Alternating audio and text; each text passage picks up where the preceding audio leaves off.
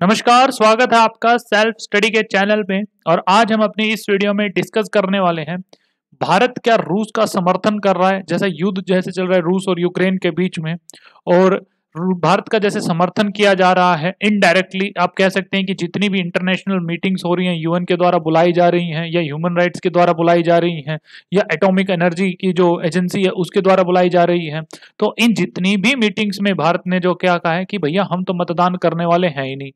और हाल ही फ़िलहाल में जैसे क्वाड की मीटिंग हुई थी, तुरंत बुलाई गई थी, जिसके अंदर चार देश हैं, भारत, अमेरिका, जापान, ऑस्ट्रेलिया, जहाँ पर भारत के ऊपर कहीं ना कहीं दबाव बनाने की कोशिश की गई थी अमेरिकी राष्ट्रपति जो बिडेन के द्वारा। लेकिन भारत ने साफ़ स्पष्ट शब्दों में बोल दिया कि ये रूस और यूक्रेन का आपसी मामला है, वो इस मामले को, जैसे यूएन में हमेशा भारत ने कहता है कि डिप्लोमेटिक या फिर कहीं कि आपस में बैठकर बातचीत के द्वारा इस समस्या को सुलझाया जाना चाहिए।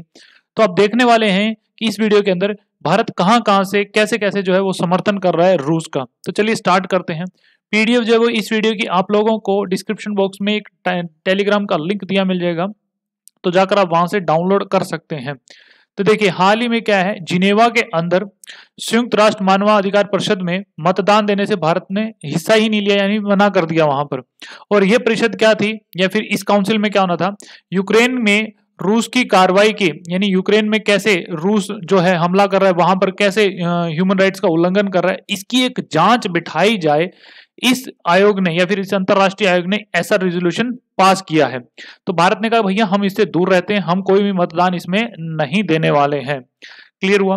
और इस कदम से देखो, ये कब आया हुआ? देखो क्वाड मीटिंग हुई थी क्वाड मीटिंग के बाद जो ये थी ये मीटिंग ह्यूमन राइट्स की जो मीटिंग थी ह्यूमन राइट्स काउंसिल के द्वारा ये मीटिंग बुलाई गई थी। क्वाड मीटिंग खत्म होने के बाद ही, और क्वाड के अंदर भी भारत के ऊपर काफ़ी ज़्यादा प्रेशराइज करने की कोशिश की गई थी जो बिडेन के द्वारा कि देखिए आपको कुछ बोलना ही होगा। भारत ने कहा कि देखिए रिटर्न टू डायलॉग डिप्लोमेसी मतलब कि आपस में बैठकर ही इस बात को सुलझाया जा सकता है, या इस झगड़े को सुलझाया सुलझाया जा सकता है। भारत ने बोलने से मना कर दिया कि भाई हम कुछ बोलने वाले हैं ही नहीं। इसके अलावा भारत ने इस मीटिंग से तो एक कह सकते हैं कि वो यहाँ से मतदान नहीं दिया और कहाँ कहाँ नहीं दिया। देखिए, संयुक्त राष्ट्र महासभा हो गई, संयुक्त राष्ट्र सुरक्षा परिषद हो गई, यहाँ पर भी मतदान देने से भारत ने मतलब कि हिस्सा लिया ही नहीं था यहाँ पर। इसके अलावा क्या था?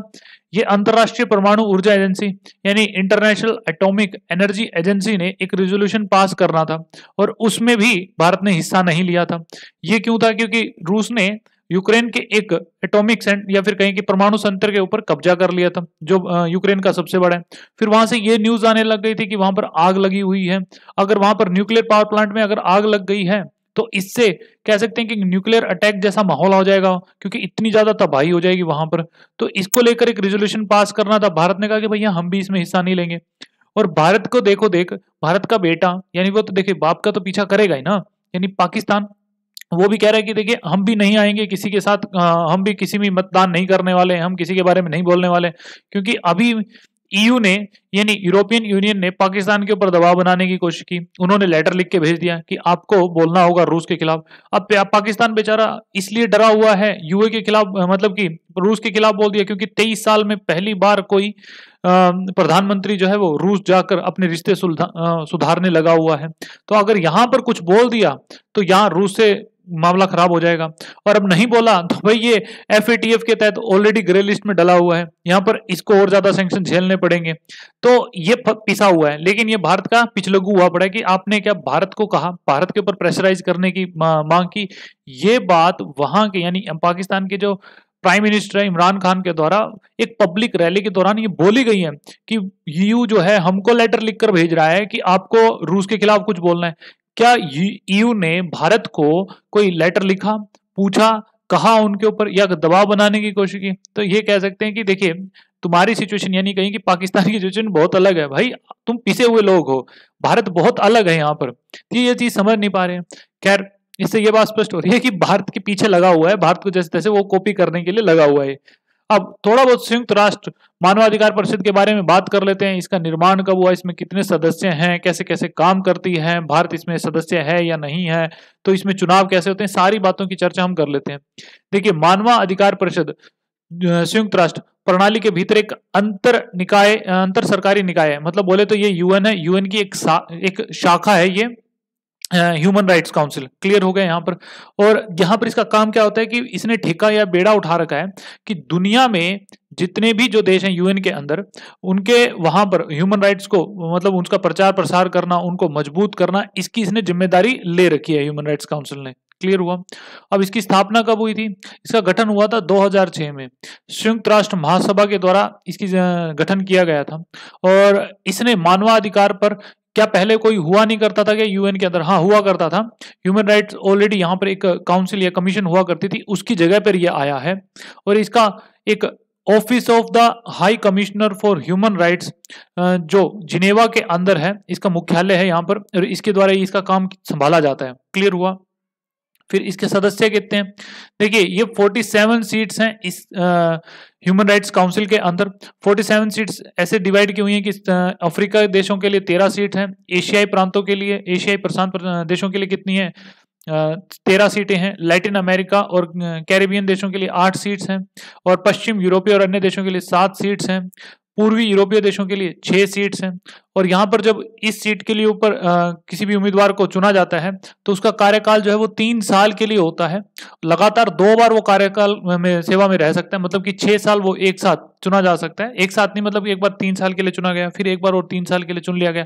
लगातार दो टर्म पूरी कर सकते हैं, लेकिन दो टर्म पूरी होने के बाद तीसरी टर्म में वो नहीं आ सकते, वो चुनाव में हिस्सा नहीं ले सकते। क्लियर अब इसका प्रोसीजर और मैकेनिज्म क्या रहता है?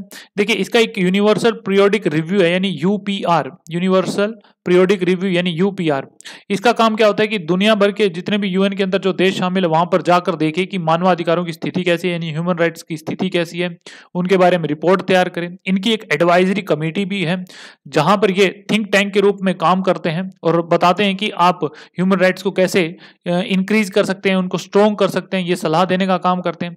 इनके पास एक कंप्लेंट प्रोसीजर भी है, जहाँ पर लोग या फिर कोई भी ऑर्गेनाइजेशन आके कहीं पर भी अगर मानवाधिकार का उल्लंघन हुआ है तो वहाँ पर ये शिकायत दर्ज करा सकते हैं।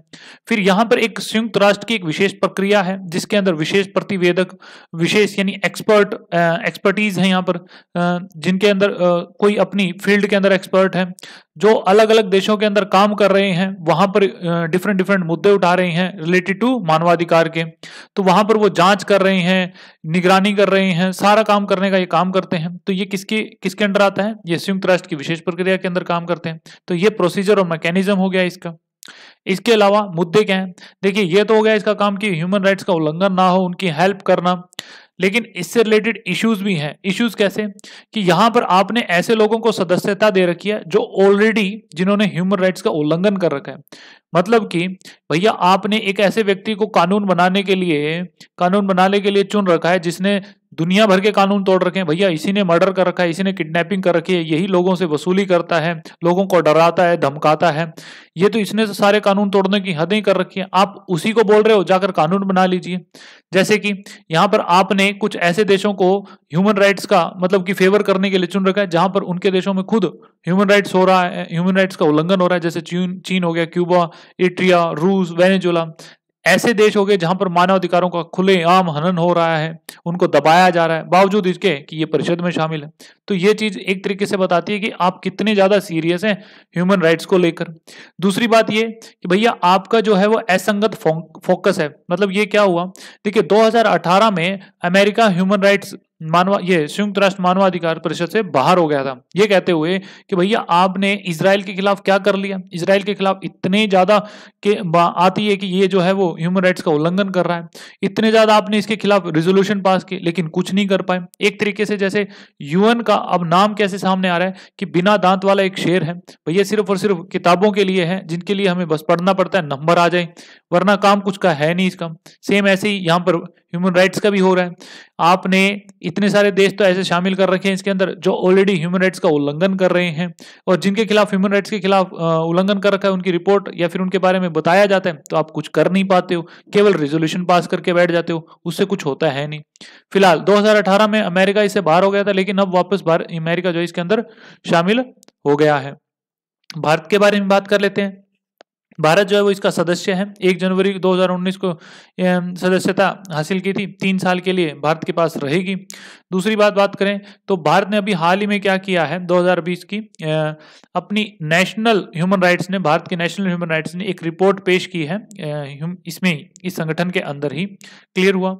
और अभी क्या हुआ है? ई ई आई ए यानी एनवायरमेंट इम्पैक्ट असेसमेंट इसने एक पत्र, यानी एक आंकलन निकाला था, एक असेसमेंट किया था पर्यावरण के ऊपर, जिसके लेकर चिंता व्यक्त की गई थी कि भारत में पर्यावरण थोड़ा खराब हो रहा है तो आप उसको संभाल लीजिए। तो ये सब चीज़ें जो है, भारत से रिलेटेड हो गई क्लियर हुआ। तो ये जो चीज़ थी आपके सामने कि भारत जो है, वो कहीं ना कहीं रूस का समर्थन कर रहा है डायरेक्टली नहीं करा इनडायरेक्टली कर रहा है, किसी भी कमेटी इंटरनेशनल कमेटी के अंदर कमीशन के अंदर वो मतदान करने से बच रहा है या जा ही नहीं रहा है, साफ़ तौर पे कह रहा है कि देखिए भाई, आप लोगों को बैठकर इस बात को सुलझाना होगा। ऑब्वियसली भारत कहीं ना कहीं इस चीज़ को समझता है कि जिस जिसके घर खुद शीशे के बने हो, उसके दूसरे घर के बारे में बोलना नहीं चाहिए। क्योंकि हमारे देश में भी बहुत सारे इश्यूज़ हैं, जिनको लेकर अगर हमने आज किसी दूसरे देश के इशू के ऊपर बोलना शुरू किया तो दूसरे देश को ये राइट्स मिल जाएँगे कि वो भी हमारे देश के इंटरनल इंटरनल मामलों के ऊपर बोलना स्टार्ट कर दे क्लियर हुआ। तो ये भारत की बहुत सोची समझी चीज़ें हैं जो बहुत अच्छे से जा भी रही हैं और भारत को ऐसे ही क्योंकि न्यूट्रल रहकर एक स्टैंड लेना होगा कि हम किसी भी ग्रुप में शामिल नहीं हैं।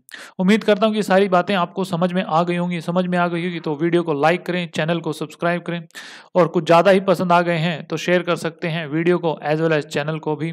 और वीडियो की जो पीडीएफ है वो आप लोगों को डिस्क्रिप्शन बॉक्स में एक टेलीग्राम का लिंक दिया मिल जाएगा तो जाकर आप वहाँ से डाउनलोड कर सकते हैं। तो बस आज के लिए इतना था। Thank you for watching this video